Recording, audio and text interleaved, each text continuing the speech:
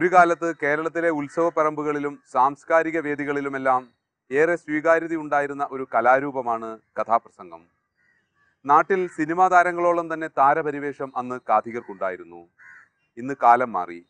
കഥയും കഥാപ്രസംഗവുമെല്ലാം മറ്റു പലതിനും വഴിമാറി. മാറ്റങ്ങളെയെല്ലാം ഉൾക്കൊണ്ടുകൊണ്ട് അന്നത്തെ കാഥികരിൽ ചിലരെങ്കിലും ഇന്നും കലാരംഗത്ത് തുടരുന്നു.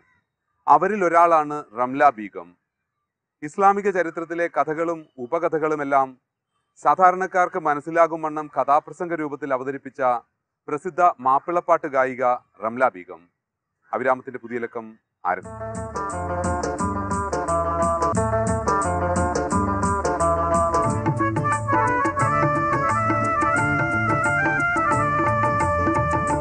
സത്യത്തിന്റെ മാർഗത്തിൽ പ്രബോധനം ചെയ്തു എന്ന ഒറ്റ കാരണത്താൽ പലർക്കും അവരുടെ ജീവൻ പോലും ബലിയർപ്പിക്കേണ്ടി വന്നിട്ടുണ്ട്. മഹത്തായ ത്യാഗത്തിന്റെയും ധീരമായ വിശ്വാസത്തിന്റെയും സന്ദേശം വിളിച്ചോതുന്ന അവരുടെ ജീവിത ചരിത്രങ്ങൾ മനുഷ്യരാശിക്ക് എന്നും മാർഗദർശനം നൽകിക്കൊണ്ട് അനശ്വരമായി നിലകൊള്ളുന്നു. ഈ പുണ്യപ്രവാചക ചരിത്രങ്ങളിൽ അഹ്സനുൽ ഖസസ് അതായത് മധുരമേറിയ കഥ എന്ന് പരിശുദ്ധ ഖുർആൻ വിശേഷിപ്പിച്ച ഹസ്രത്ത് യൂസുഫ് നബിയുടെ ചരിത്രം കഥാപ്രസംഗമായി ഞങ്ങൾ അവതരിപ്പിക്കുന്നു.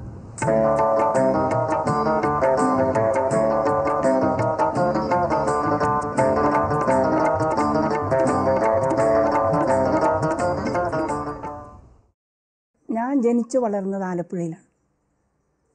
ആലപ്പുഴ ഒരു പുരാതന കുടുംബമാണ്. എന്ന് വെച്ചാൽ ഭക്തിയുടെ എന്റെ ഉമ്മയും ഉപ്പയൊക്കെ എന്ന് പറഞ്ഞാൽ ഭയങ്കര അവരുടെ കുടുംബം. എന്റെ കുടുംബം എന്ന് പറയുന്നത് തന്നെ ഇതുപോലെ കലാരംഗത്ത് വരാനുള്ള യാതൊരു സാധ്യതയില്ല. ആ ഒരു കാലഘട്ടം. അവിടെയാണ് ആലപ്പുഴയിലാണ് ഞാൻ ജനിച്ചതും വളർന്നതും ഒക്കെ. എന്റെ ഉമ്മ പാടും. പാടുന്ന വെച്ചാൽ ഈ പൊതുരംഗത്തൊന്നും അല്ല. അതല്ലാതെ താരാട്ടുപാട്ട് കേട്ടിട്ട് വളർന്നാണ് ഞാൻ. എന്റെ ഉപ്പയാണെങ്കിൽ ഈ ഖുറാനൊക്കെ വളരെ ഈണത്തിലോതും എന്റെ ഉപ്പ.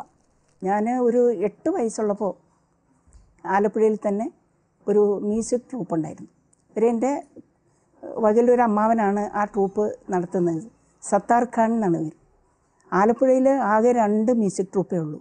ഒന്ന് ആലപ്പി മ്യൂസിക് ക്ലബ്ബ് ഒന്ന് രണ്ടാമത് ഒരു ആസാദ് മ്യൂസിക് ആസാദ് മ്യൂസിക്കിലെ ഗായികയാണ് എട്ട് വയസ്സ് മുതൽ ഞാൻ. അപ്പം എനിക്ക് കുറച്ച് പാടാൻ കഴിവുണ്ടെന്ന് മനസ്സിലായപ്പോൾ എന്റെ അമ്മാവൻ ഇങ്ങനെ കടപ്പുറത്തൊക്കെ കൊണ്ടുപോയി ഇരുത്തി പാടിക്കും.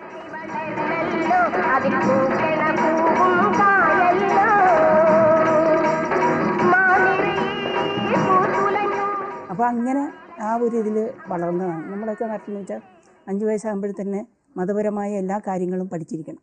എന്നിട്ട് സ്കൂളിൽ അഞ്ച് വയസ്സിൽ കൊണ്ടുപോയി സ്കൂളിൽ ചേർക്കുള്ളൂ അങ്ങനെ ഒരു പ്രത്യേക സാഹചര്യത്തിൽ എന്റെ കുടുംബത്തിൽ ആരും ഇല്ല പാട്ടുകാർ അങ്ങനെ വളർന്നതാണ് ഞാൻ. എട്ട് വയസ്സിൽ ഇങ്ങനെ പാടാൻ തുടങ്ങിയപ്പോൾ പിന്നെ ചാൻസ് കിട്ടി. പല സ്ഥലങ്ങളിൽ പോകാൻ കൂടുതലും കല്യാണ പ്രോഗ്രാം കൊച്ചി എറണാകുളം ആലുവ ആലപ്പുഴയിൽ തന്നെ നല്ല അന്ന് കല്യാണ ഫംഗ്ഷനൊക്കെ നടത്തുമ്പോൾ ഈ ഗാനമേള ഒഴിച്ചുകൂടാൻ വയ്യാത്തൊരു കാലഘട്ടമായിരുന്നു അന്ന്. ഇന്നും അങ്ങനെ തന്നെയാണ്. അങ്ങനെ പിന്നെ ഗാനമേളയ്ക്കൊക്കെ എന്നെ കൊണ്ടുപോയി. അങ്ങനെ ചെറിയ കുട്ടിയാണ്.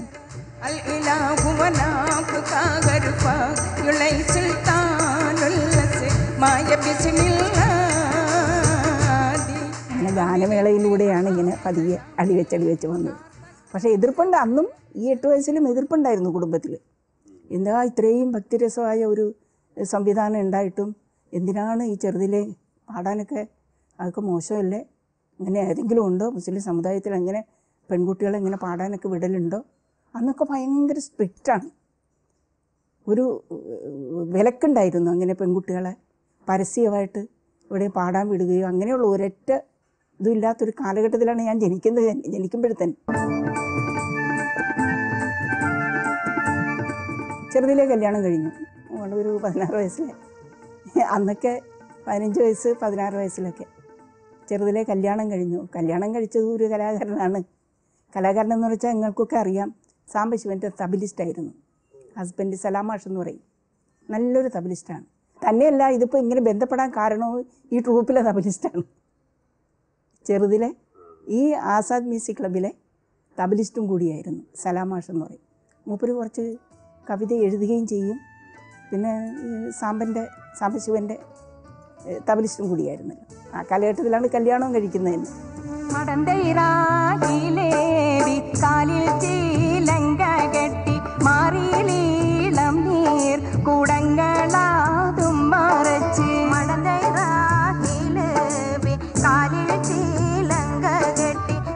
കല്യാണം കഴിച്ചപ്പം അപ്പോൾ എന്നെ കല്യാണം കഴിഞ്ഞതിന് ശേഷം ഇങ്ങനെ സാമ്പന്റെ ഒക്കെ കഥാപ്രസംഗം കേൾക്കാൻ അന്ന് ഭയങ്കര ഇൻട്രസ്റ്റാണ് കഥാപ്രസംഗം കേൾക്കാനൊക്കെ കൊണ്ടുപോകും. അന്ന് ഞാൻ രംഗത്തുണ്ട്. കല്യാണം കഴിയുമ്പോഴും ഇങ്ങനെ ഗാനമേളയ്ക്ക് ഞാൻ സജീവമായിട്ടുണ്ടായിരുന്നു. അങ്ങനെ കഥാപ്രസംഗമൊക്കെ കേട്ടിട്ടുണ്ട്. എന്നാൽ കഥ പഠിച്ചാലോ? അപ്പോൾ അപ്പോഴെന്താ നാട്ടിൽ അപ്പോൾ വേറെ ഒരു പ്രശ്നം. ഈ ഈ പഠാൻസിനൊന്നും മലയാളം വശം ശരിക്ക് സംസാരിക്കുമ്പോൾ അത്ര അക്ഷരശുദ്ധി ഉണ്ടാവില്ലല്ലോ. അപ്പോൾ ആൾക്കാർ കുറേ ആൾക്കാർ എതിർത്ത് ഈ പട്ടാണി പെണ്ണിനെയാണോ? കഥാപ്രസംഗമൊക്കെ പഠിപ്പിക്കാൻ പോകുന്നത്. വാളാ കോളി കാളാന്നൊക്കെ പറയുന്ന ആൾക്കാരല്ലേ? ഏഹ് എങ്ങനെ? അതൊക്കെ ഞാൻ ശരിയാക്കിക്കൊള്ളു. എന്റെ കല്യാണം കഴിഞ്ഞതിന് ശേഷം. അപ്പം അങ്ങനെ എന്റെ ഭർത്താവാണ് കഥാപ്രസംഗത്തിന്റെ തുടക്കം കുറിക്കുന്നത്. അറുപത്തി മൂന്നിലാണ് ഞാൻ കഥാപ്രസംഗ രംഗത്തേക്ക് വരുന്നത്.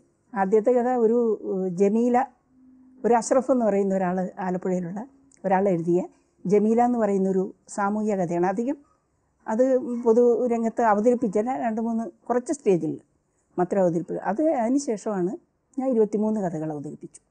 ആദ്യം അവതരിപ്പിച്ചത് ആലപ്പുഴയിൽ തന്നെ ഒരു ഉറൂസ് നടക്കുന്ന ഒരു മൊഹീദ്ദീൻ പള്ളിയുണ്ട്. കാക്കാഴം പള്ളി എന്ന് പറയും. അവിടെ ഉറൂസ് നടക്കുന്നത്. അപ്പോൾ അവിടെയായിരുന്നു ഉദ്ഘാടനം. ആദ്യത്തെ കഥാപ്രസംഗം എന്നൊക്കെ പറഞ്ഞാൽ ഭയങ്കര പ്രശ്നമായിരുന്നു. കഥാ എനിക്കാദ്യം സ്റ്റേജിൽ ആൾക്കാരെ കാണുമ്പോഴൊക്കെ ഭയങ്കര പേടിയായി പഠിച്ചത് ഇതൊരു രണ്ട് രണ്ടര മണിക്കൂർ പഠിക്കണം. കഥ ഫുള്ളായിട്ട് കാണാതെ പഠിക്കണം. പിന്നെ അന്നത്തെ പ്രായവും അതാണ്. എന്ത് കിട്ടിയാലും അപ്പോഴത്തന്നെ പഠിക്കുന്ന ഒരു സ്വഭാവം കാണാതെ പഠിക്കണമല്ലോ. അങ്ങനെ ആദ്യത്തെ സ്റ്റേജിലൊക്കെ കുറേയൊക്കെ മറന്നു പോയിട്ടുണ്ട്. സ്റ്റേജിൽ ആൾക്കാരെ കണ്ട് ഭയന്നിട്ട് മറന്നു പോയിട്ടുണ്ട്. അങ്ങനെ ഭർത്താവ് വഴക്ക് പറയും. പിന്നെ ആദ്യത്തെ സ്റ്റേജും ആദ്യം ആൾക്കാർ ഇത്രയും കൂടുതൽ ആൾക്കാരെയൊക്കെ കാണുന്നതല്ലേ?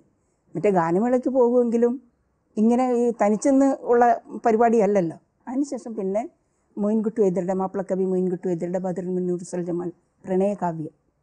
അതൊരു ഭയങ്കര സംഭവമായിരുന്നു. പിന്നെ ആൾക്കാർ വേണം. കൂടുതൽ ഓഡിയൻസ് ഉണ്ടെങ്കിൽ കുറച്ചൊക്കെ കയ്യിൽ നിന്നൊക്കെ ഇട്ട് കാണാതെ പഠിച്ചത് മാത്രമല്ല അതല്ലാത്ത കുറേ കാര്യങ്ങളൊക്കെ കയ്യിൽ നിന്നൊക്കെ ഇട്ട് പഠിക്കാൻ വരെയായി. സന്തോഷവും സംതൃപ്തിയും നിറഞ്ഞ ദിനങ്ങൾ ഒന്നൊന്നായി പിന്നിട്ടുകൊണ്ടിരുന്നു. ലിയായും റാഹേലും തങ്ങളുടെ ഭർത്താവിനെ ജീവന തുല്യം സ്നേഹിച്ചു ബഹുമാനിച്ചു.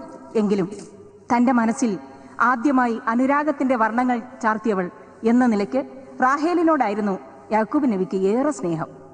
വർഷങ്ങൾ ഒന്നൊന്നായി പിന്നിട്ടുകൊണ്ടിരുന്നു.